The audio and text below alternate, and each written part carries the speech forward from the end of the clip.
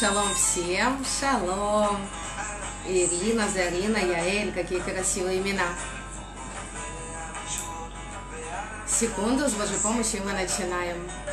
Людмила, Ольга, шалом, Эраптов. Эраптов, Сюзанна, Елена.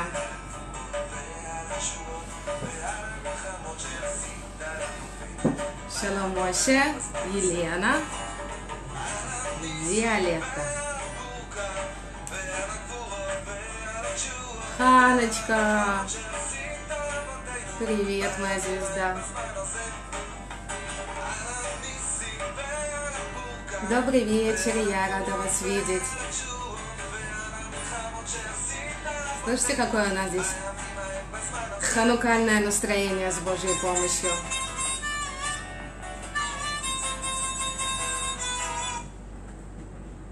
Окей, вы собрались. Спасибо вам большое за внимание. И мы начинаем с вами с Божьей помощью опять учить недельную главу. Предполагаю, что вы уже много учили на этой неделе. К сожалению, у меня не получается слушать уроки на платформе Вайкра, но я очень надеюсь, что опять же я скажу вам что-то новое, что вы еще не слышали. А поговорим мы сегодня с вами про идеальную семью, про количество детей в идеальной семье, или как правильно говорить спасибо, что Всевышний хотел нам давать дальше. Почему мы об этом поговорим? Потому что эта тема очень актуальна, и мне кажется, этот вопрос, все, кто читает прямой текст Торы, он задается сам собой. Но начну с маленькой истории, с примера. Мама на свадьбу своего сына дарит ему два галстука, красный и синий. Привет, Виленские! Привет! Олег, добрый вечер всем. Татьяна, Елена, Мирослава, Алла. Эм, она дарит ему галстук, и вот один шаббат, два галстука. И вот один шаббатов, когда он приходит к маме со своей женой, он одевает синий галстук, приходит и говорит, мам, посмотри, какой красивый. Она говорит, ну да, конечно, я так и знала, что тебе красный не понравится.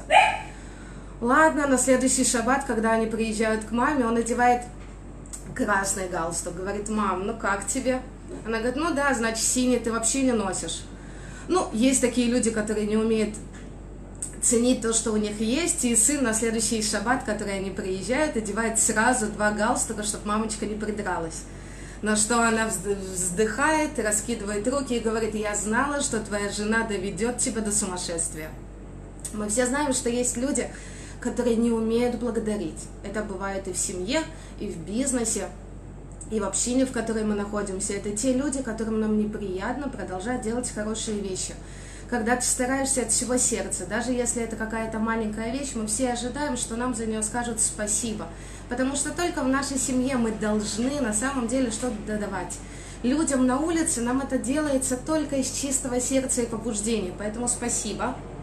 Оно дает нам желание с этим человеком дальше общаться, продолжать ему давать, продолжать вести с ним отношения. Человек же, который покупает у тебя товар, приходит пользоваться твоими услугами или просто просит одолжения, разворачивается, уходит, не говоря спасибо, этот человек уходит у нас на второй план. Ну а что, он не ценит совершенно, что я ему даю. Наверное, все, что я буду давать, он также будет продолжать не ценить. Слово «спасибо», оно у нас золотое. У меня, например, из трех детей есть младшая Аделька, которая безумно радуется каждой мелочи. За любой э, жвачку, какую-то конфетку она обнимает, целует. Мамочка, спасибо, я всегда мечтала об этой шоколадке. Бедный сынок, не то слово. Поэтому Адельчика получает у меня больше всех конфеток, обнимашек всего остального, потому что она обожает говорить спасибо. И я уверена, что вы в жизни тоже сталкивались с таким типом людей, которым по кайфу давать. На все, что вы им делаете, они говорят, вау, я не ожидала, спасибо большое, ты подумала обо мне. Э, например, у нас есть мецва бикурим. Бикурим – это когда мы несем первые плоды, выращенные на наших деревьях, Всевышнему. Когда мы говорим Всевышнему спасибо за то, что Он нам послал такие владения, такие щедрые плоды – Всевышний не говорит «Амен», а это единственная заповедь, о которой сказано, что он посылает бат-коль, голос самого Всевышнего, и этот бат-коль говорит «Дай Бог, что удостоился бы ты приносить мне эти бекурим в следующем году». То есть Всевышний другими словами говорит «Коль ты мне сказал спасибо», Амен, чтобы ты мог говорить это спасибо всегда и на все. Я буду посылать тебе больше и больше и больше, только чтобы ты имел возможность так красиво благодарить меня за все. Хай. Эм, Лея вообще это первый человек, который говорит у нас спасибо. Как он говорит спасибо? Официально, назвав своего четвертого сына Еода от слова Леодот. Тут я поблагодарила тебя, Всевышний, за сына, который ты мне дал. Привет, Влад. Но с другой стороны, Лея, она у нас женщина, которая несколько раз в Торе названа Иша Сноа, ненавистная жена. Это женщина, которую ее муж не хотел, это женщина, которая попала в дом к Якову путем комбинации, путем ошибок, и она всегда чувствовала себя чужой и нелюбимой, потому что, будучи уже замужем за Яковом, он все равно продолжал работать в ожидании той самой свадьбы с Рахеля, которую он так долго ждал. Но, несмотря на это, Лея получила намного больше, чем она просила и чем она заслужила. Лея, все вообще наши проматери знали, что у Якова будет 12 сыновей, поэтому 12 делить на 3, 12 делить на 4, это будет по 3 мальчика у каждого.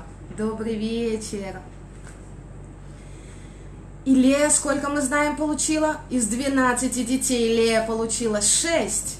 Несмотря на то, что она была ненавистная жена, как бы нам сложно не было это сказать, несмотря на то, что написано, что ее глаза были выплакана от боли и несчастья, которое она пережила, это женщина, которая получает больше всех остальных проматерей.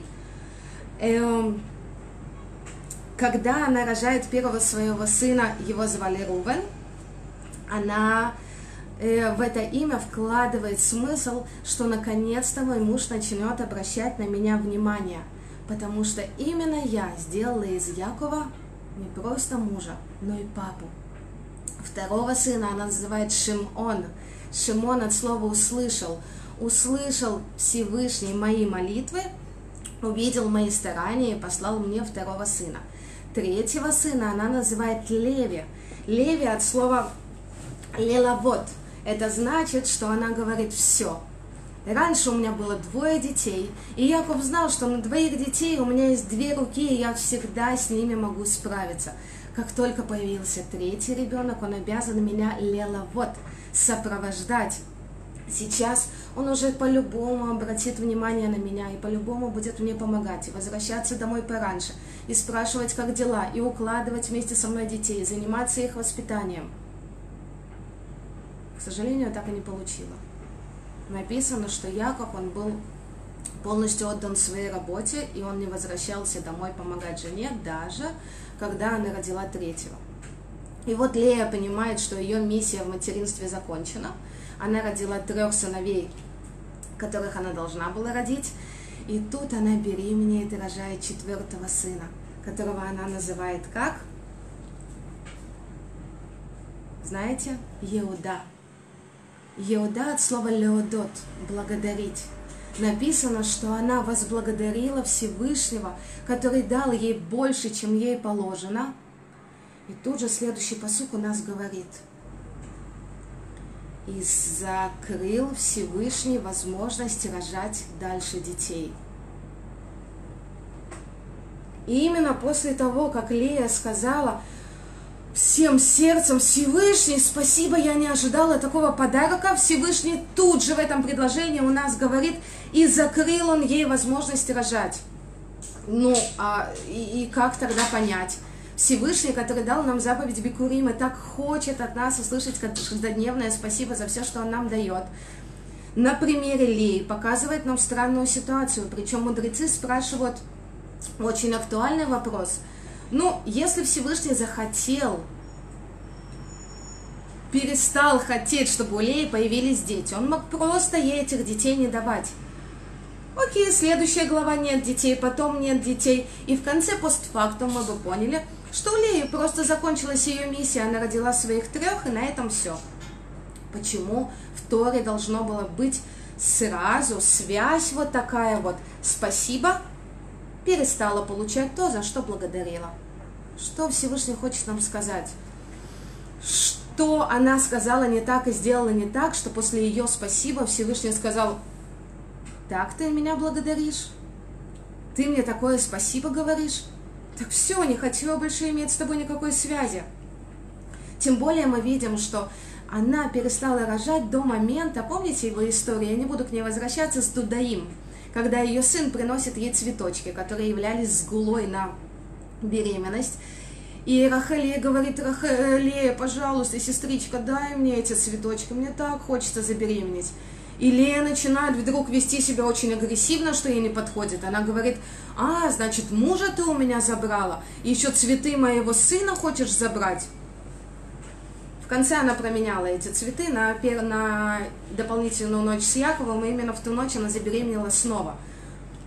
Что Всевышний хочет нам показать этой историей? Она благодарит, он у нее забирает благословение, она ведет себя нелицеприятно, и Всевышний говорит, о, тут я узнаю Лею, вот так я хочу, чтобы общались, на тебе еще и Сахара из Булуна, двух мандрагоры.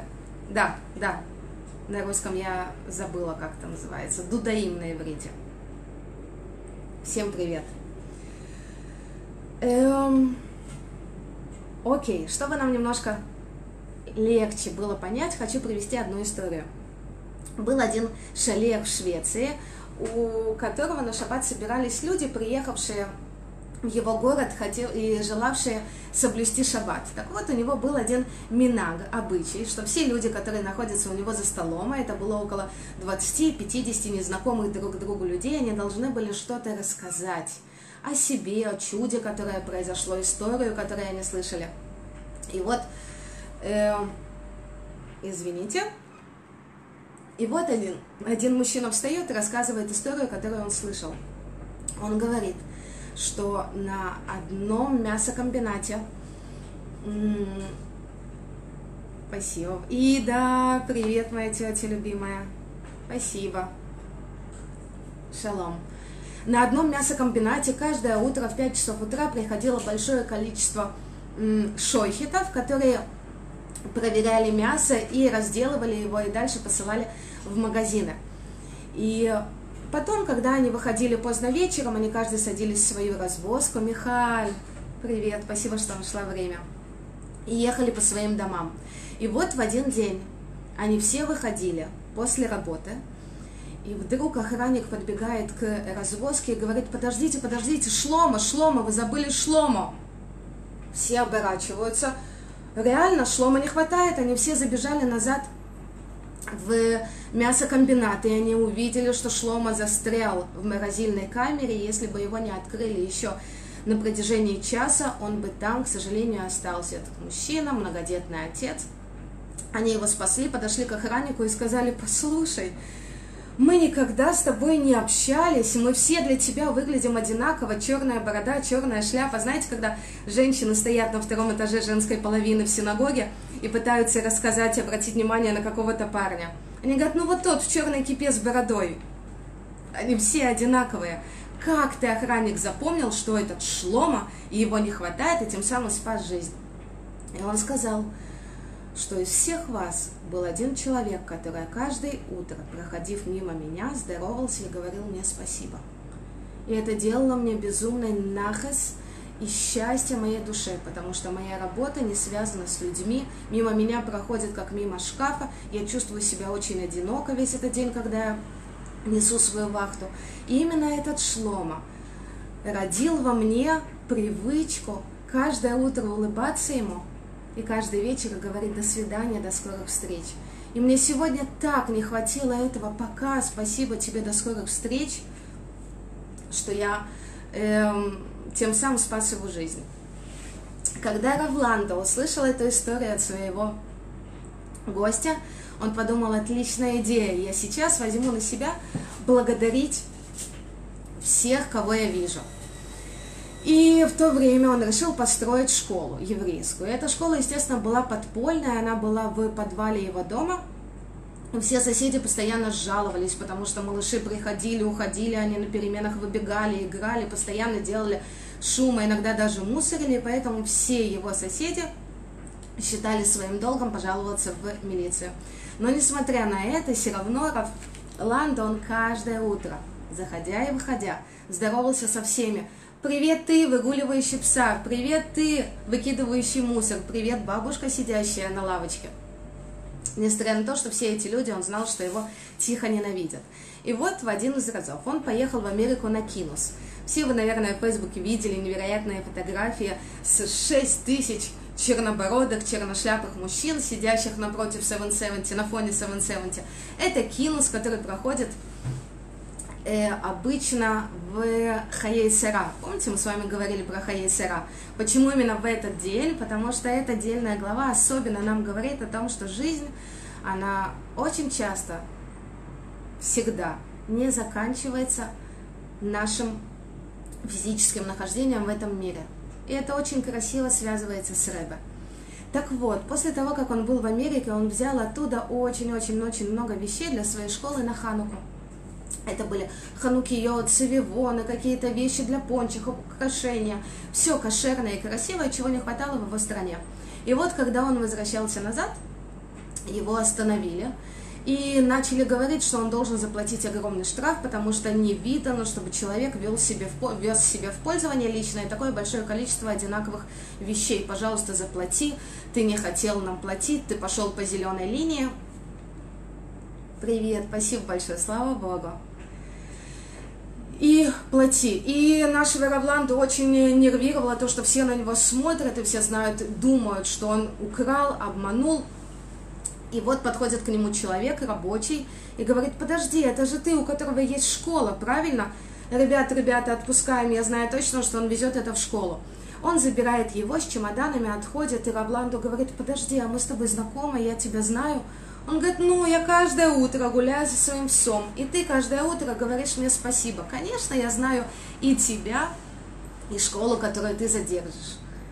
Насколько эта история, которая произошла на самом деле, дважды нам показала, что наше спасибо, внимание к людям, благодарность эм, могут дать нам очень много, а на примере наших историй даже спасти жизни у нас есть выражение, которое говорит «Одуля Ашем китов кили олам хаздо». Есть даже песня такая очень зажигающая.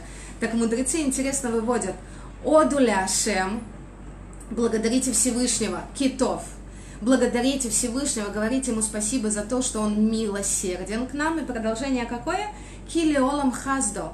И будет он до конца наших дней – давать нам невероятный хесед благодаря спасибо и благодарности, которую мы приучаем себя изо дня в день давать. Тоже Бикурим, помните, который мы с вами только э, в начале урока говорили, кто присоединился к нам. Это единственная заповедь, когда мы говорим Всевышнему спасибо, и он говорит нам не амен, не кены и рацион, не, не молодец чувак, он говорит сам, своим голосом – да будет так, чтобы ты удостоился в следующем году также сказать мне спасибо. У нас есть с вами два невероятных примера бездетных какое-то время женщин. Километраж их бездетности был одинаковый. 20 лет Хана и Рахель не могли забеременеть. И что мы в конце видим? Что Хана, она беременеет, и мало того, что она беременеет, мы с вами учили это, в, помните, в, в Рошашана, что она семь детей родила, а первый ее сын, в нем была душа и Моше, и Аарона, насколько величественные дети у нее были, и как она еще дальше и дальше воспитывала целое поколение хасидов и богобоязненных людей. И наша Рахель, которая ждала так же, которая молилась так же, которая так же, как и Хана, привела в дом чужую женщину. И эта женщина, так же, как в истории с Ханой, преуспела и родила ее мужу тоже детей. Рахель получает, э, Ривка получает одного сына, а второго она рожает, умирает и даже не видит его и не может его воспитывать. чем отличаются две эти женщины и две эти истории, и что они сделали по-разному, что к финишу они пришли настолько с разным результатом. Всевышний нам говорит, мудрецы нам говорят. Э, секунду. Э, Хана, мы с вами, когда учим эту парашу, мы видим, что там есть Шират Хана, песня Хана. Она возносит благодарственную песню. Всевышний, спасибо большое, что услышал мои молитвы и дал мне такого замечательного сына.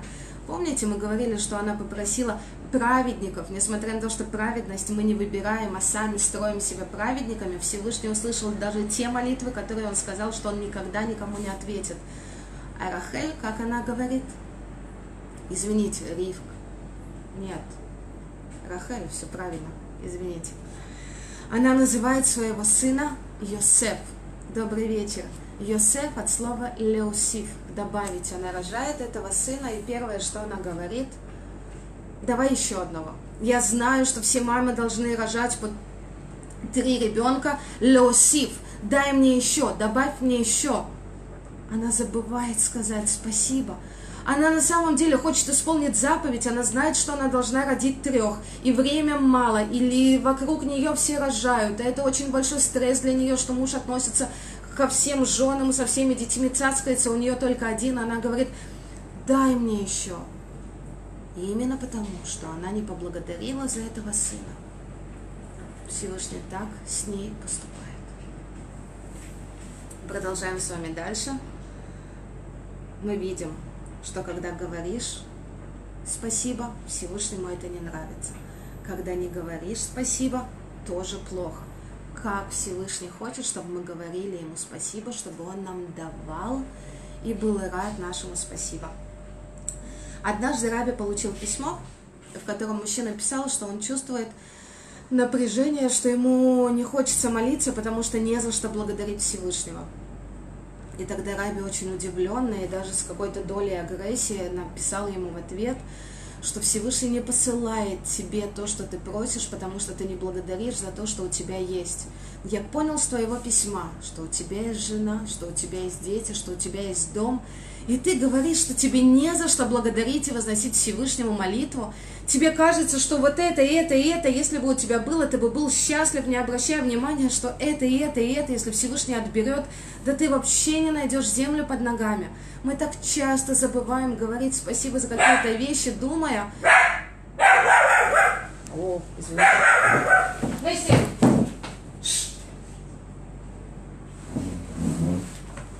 Прошу прощения. Э, секунду. Э, в общем, Рэбе сказал, что как только мы начнем благодарить, Всевышний будет находить нам поводы давать больше и больше и больше. Тем более я хочу усилить. Юда был неплохой, имя было не... Это Ецерара нам мешает, эта собака первый раз в жизни гавкает. И сегодня вечером мы ее отдаем еще в лучшую семью. Это, наверное, реально какое-то испытание. Но нам же с вами не помешает. Можно секунду, я ее закрою в комнате.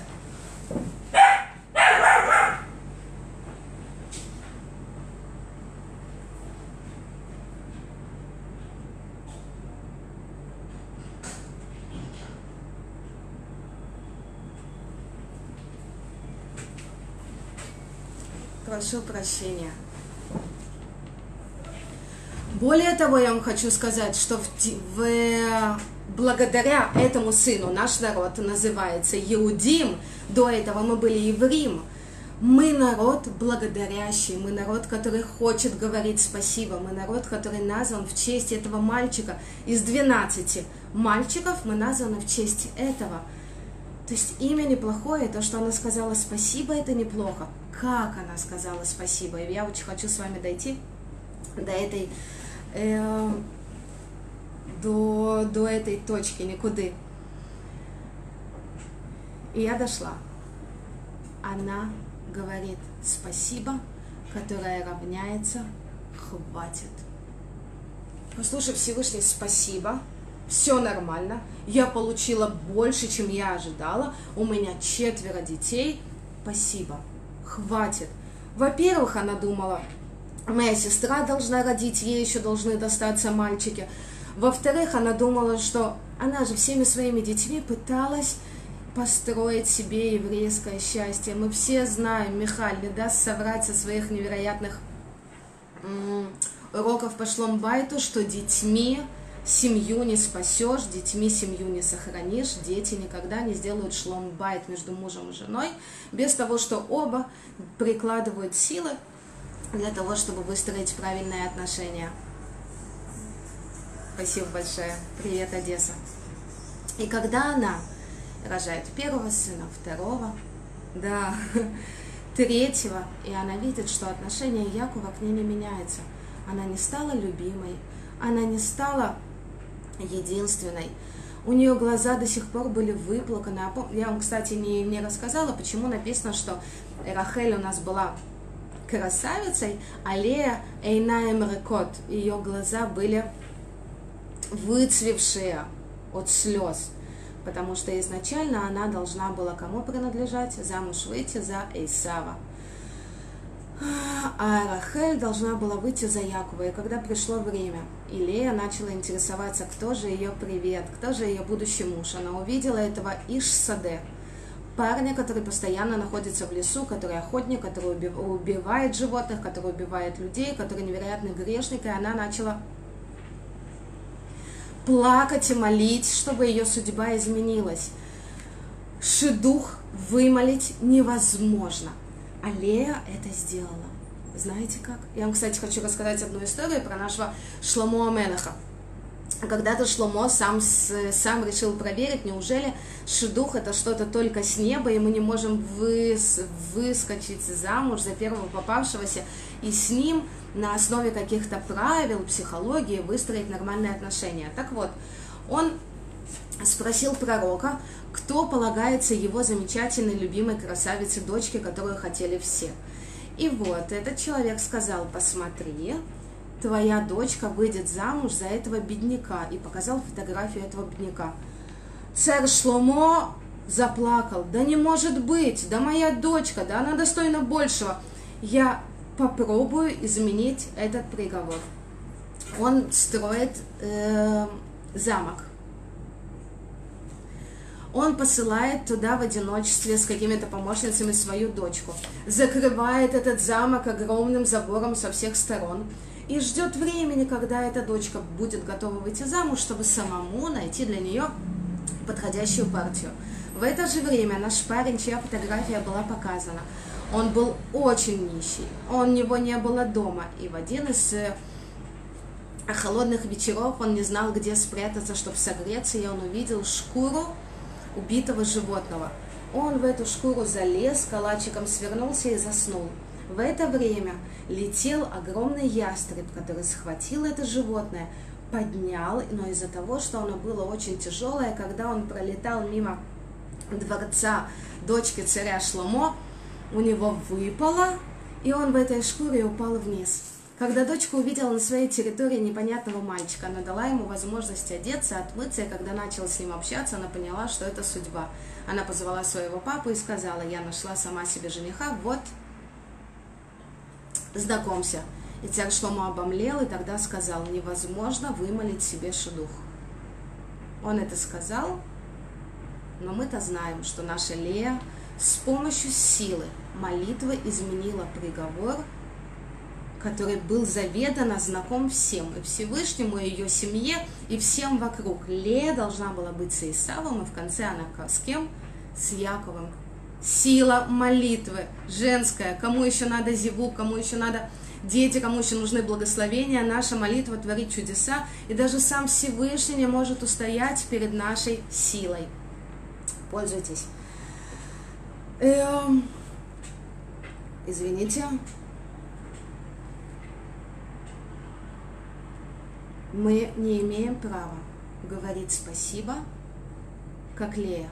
Я предполагаю, что многим из вас окончание этого урока не понравится, не будет близким, вы сможете со мной поспорить на эту тему, но я хочу с вами э, выучить то, что говорит Рэбе в своей стихе, и в принципе мне кажется, что каждый из нас, если задумается, он поймет, что корень рациональности очень большой здесь есть. Сколько бы сил, не брали у нас наши дети, заповеди, которые мы делаем, добрые дела, которые мы делаем, мы не имеем права Всевышнему сказать «хватит», больше я не хочу, спасибо, вот у меня есть три ребеночка, с меня хватит, да, этих поставить на ноги. Вот у меня каждый шаббат пять гостей, хватит, больше я не потяну, мне еще надо с семьей немножечко побыть, да денег на свою семью оставить. Хватит, я и так один раз в неделю даю Тору, спасибо Всевышний, что ты мне дал эту возможность, больше не надо. Вот два-три урока в неделю, это уже спасибо. Спасибо за возможность, то, что у меня есть. Как только мы говорим спасибо, равно хватит, Всевышний говорит, ах, значит, ты уже закончил миссию в своем мире, значит, ты уже не хочешь быть посланником в этом мире, значит, то, что Авраам, я заключил с ним союз, что я ему даю, благословение, деньги, имя, детей, все что угодно, взамен на то, что он прославляет и делает мою волю, ты с этим закончил? Ты отвечаешь за то, что ты говоришь? Как правильно говорить спасибо? Лея должна была сказать, Всевышний, спасибо, пожалуйста, сделай так, как ты считаешь нужным. Все, что ты пошлешь мне, мое. Ты не дашь мне вместо Рахель детей, ты дашь мне только то, что мне полагается. И самое главное, что мы с вами должны просить, это сил. Всевышний, дай мне силу воспитать еще детей. Вот сложно мне с этими. У этого свои какие-то особенности, у этого, у этого. Каждый требует моего внимания, куда мне в список своих дел еще вписать одного малыша. Да если я буду вставать ночами, как же я буду продолжать работать, вести свою жизнь? Мы не имеем права сказать Всевышнему стоп. Потому что это наша миссия. А как мы знаем с вами, что даже те люди, у которых есть уже дети, они тоже не имеют права говорить стоп. Ведь по мнению Илель Шамай, э, по мнению Шамая, по обоим мнениям, двое детей, это вы исполнили свою миссию, свою заповедь. Кстати, эта заповедь вообще не дана женщине, это мужская заповедь. Это благодаря нам они могут исполнить эту заповедь. Вообще мы как бы, Всевышний с нами не говорил об этом. Так, мужчины, чтобы вы понимали, насколько мы жертвуем собой ради исполнения ваших заповедей. Так вот, э, выскочила у меня мысль. Первая заповедь, которая дана была человеку, это было про рву, плодитесь и размножайтесь. И второй раз эту заповедь мы с вами читаем теми же самыми словами, когда Ноах выселился на побережье после потопа, и тогда Всевышний ему говорит, а сейчас плодитесь и размножайтесь. Ну, Странно говорить заново эту заповедь. Тем более, если прошло 10 поколений от Адама до Авраама, и от Авраама 10 поколений до, до Ноаха, и от Ноаха 10 поколений до Авраама. Следовательно, они все размножались, они делали это. Даже поколение потопа. Единственную заповедь, которую они исполняли, это приводили в свет еще новых детей. Как можно было наполнить, напомнить эту заповедь Ноху, который и так знал. Ладно, Адам. Адам Проснулся, здрасте, кто я, что я, чем мне делать в этом мире? А, жена, давай пообщаемся, в клуб сходим, в, не знаю, в, поиграем настольную игру, фильм посмотрим. Стопе, ребята, прорву. Для этого вы вместе, вы идеальный пазл, с помощью которого я могу приводить в этот мир новые души. Ну что с Ноахом? А с Ноахом было неясно, потому что у Ноаха было уже три мальчика. А, извините, правильно, по Бейт, по Бейт Шамаю, неважно, у тебя два мальчика, две девочки, ты исполнил свою миссию. И Лель же говорит, что надо, чтобы был мальчик и девочка, и только тогда мужчина свою миссию исполняет. Но по Бейт Шамаю Ноах сделал уже свою миссию, он мог сказать, послушай, я такое пережил, да я в ковчеге одного покорми. Плодитесь, размножайтесь, да, извините, плодитесь размножайтесь плодите и размножайте, пожалуйста, вот этот урок, чтобы больше людей знало, как правильно говорить спасибо. Да я с такое пережил, одного покормил, второй меня укусил, третьего мусор вынести, жена, дети, животные, дай выйти немножко отдохнуть, прийти в себя, сделать что-то полезное, я не знаю, в, тиш, в тихом углу посидеть хотя бы, в депрессию уйти спокойно. Прорву, несмотря на то, что у тебя есть уже дети, пожалуйста, не останавливайся и продолжай дальше плодиться и размножаться. Отсюда Раби говорит, мы знаем, что нету количества детей, когда человек может сказать, все, с меня хватит, при условии, что у него хватает здоровья.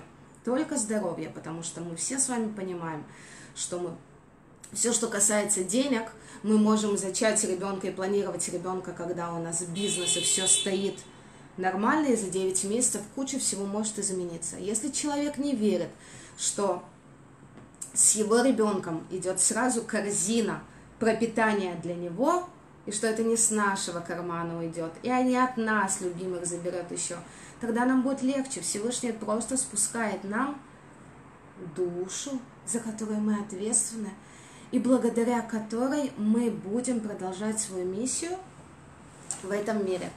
Когда одну женщину, рожавшую 19-го ребенка, вот в Цвате она живет, спросили э, в клинике, сколько ты будешь еще рожать, она сказала 6 миллионов. У нас есть к чему стремиться. Нох должен был плодиться и размножаться, чтобы восстановить мир после потопа. Мы должны плодиться и размножаться как минимум для того, чтобы восстановить этот мир после Холокоста, который пережил наш народ. Но даже об этом думать не надо. Просто потому что это кайфово, много детей. Продолжаем дальше. Э, Раби тоже сказал очень смешную вещь. Э, в одной своей стихе Раби сказал, что любая мама, любые родители хотят, чтобы ее ребенок, он был и воспитанный, и умный, и учил Тору, и приносил деньги, и со всеми общался, и преуспевал во всем. Так вот, Раби говорит, большая вероятность получить это все, когда у вас много детей, потому что один ребенок, он не может быть и Сахар, и Звулун, и великий Ламдан, который учит Тору, и великий бизнесмен. Поэтому чем больше у нас детей, тем больше наших желаний мы сможем в них э, получить. Это шутка, конечно, дай Бог, чтобы каждый наш, каждый наш ребенок был особенно индивидуальный и исполнял все э, пожелания нашей Всевышнего. Э, тоже интересная история, к одному э, к пришел один хасид, у которого родилось уже за два года две девочки. Он пришел к нему на аудиенцию и пожаловался. Раби, у меня рождаются девочки, пожалуйста, благословите меня, чтобы у меня родились мальчики. Раби улыбнулся, и после этого у этого хасида родилось 9 мальчиков. И когда он это рассказывал, кто-то ему из знакомых сказал, скажи спасибо, что Раби в этот момент не захохотал, чтобы тогда было. Э... Окей. Я уже почти заканчиваю. У меня когда я готовлю урок, у меня очень-очень-очень много информации. И я не понимаю, как выстроить урок, чтобы успеть за час связать это в логическую цепочку и не упустить ничего лишнего, э, ничего важного. Хотя важное, мне кажется, все. Дайте мне, не знаю, 10 часов, я буду говорить с вами 10 часов. И э, я заканчиваю. Был в Израиле такой министр, я, к сожалению, министр, суд, судебный министр, как правильно сказать? Юриспруденция, правильно, министра судебных дел. В общем, этот министр, правдивая история, он, если бы эти истины слышала раньше, Светлана, вы можете передавать эти истины дальше, это будет ваш, ваше исправление. Хотя мы знаем, что Сара родила в 99 лет. Для женщины нету ничего невозможного. Э, так вот, этот министр, он решил издать закон, который бы Э, делал легитимными аборты и облегчил бы весь этот процесс. И вот в харидимном мире в Израиле, спасибо большое, в Израиле все раввины всполошились, надо было как-то это остановить, как-то этому закону противостоять, потому что это все неправильно, не знаю, как вы к этому относитесь, моя, э, эм, мое мнение в этом плане очень четкое, такое, как наших мудрецов. Мне тут не надо самой думать, за меня сказали наши мудрецы, как правильно.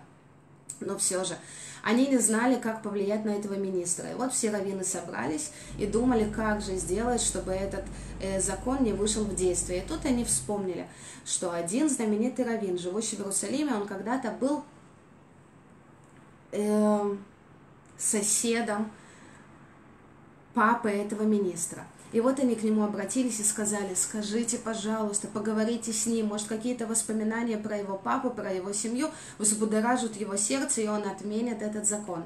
И вот они пошли все раввины к нему домой и вели с ними беседу, и ничего не помогало. Он доказывал им, что аборт очень важный для, для многих слоев населения, для женщин. И тогда заговорил наш сосед, его звали э, Ария Левин. И он сказал, послушай, когда я был, спасибо большое, когда я был маленьким, к моему папе приходило очень много семей, он был большим раввином, сейчас и я большой раввин, ты знаешь моего папу, мы были соседями. Так вот, пришло, пришли Донецк, Шалом, пришли к моему папе пара, которая уже на пороге начала ссориться. Они ссорились, они не могли найти общий язык. И когда они уже наконец заговорили перед моим папой, они сказали, что они только поженились. И у них у обоих они заканчивают первую степень, и они хотят продолжать себя в бизнесе, в продвижении того, что они учат, и вдруг она забеременела, так получилось, мы все знаем, как это получается. Он говорит, что надо сделать аборт, и забеременеть только тогда, когда оба добьются своих целей. Она говорила, что она не пойдет на аборт, это убийство, она не сможет потом жить в ладах сама с собой, и она не хотела этого делать. И этот раввин очень долго с ними общался, и в конце он уговорил эту пару оставить ребенка. Как ты думаешь, как звали ребенка, который родился у них? А его звали Шмуэль Тамир, так же, как звали этого министра – это ты тот ребенок, которого уберегли от аборта. Я заканчиваю. Я благословляю вас, чтобы каждая из нас знала, как благодарить. Чтобы Всевышний слышал наши благодарности, чтобы Всевышний слышал наши молитвы, чтобы мы всегда просили сил продолжать, и наша миссия никогда не заканчивалась, чтобы мы радовали Всевышнего своей плодотворностью, чтобы Всевышний хотел из года в год заключать с нами заново договор, продлять его, и чтобы все, кто хочет родить еще детей, все благословлились. Я за себя прошу Адина Наоми, Батлея Лива, чтобы мы уже в этом году услышали хорошие новости и все-все-все-все-все хороших детей, праведных детей и качественных отношений со Всевышним. Шаббат шалом. Спасибо за внимание. Шалом всем. Пока.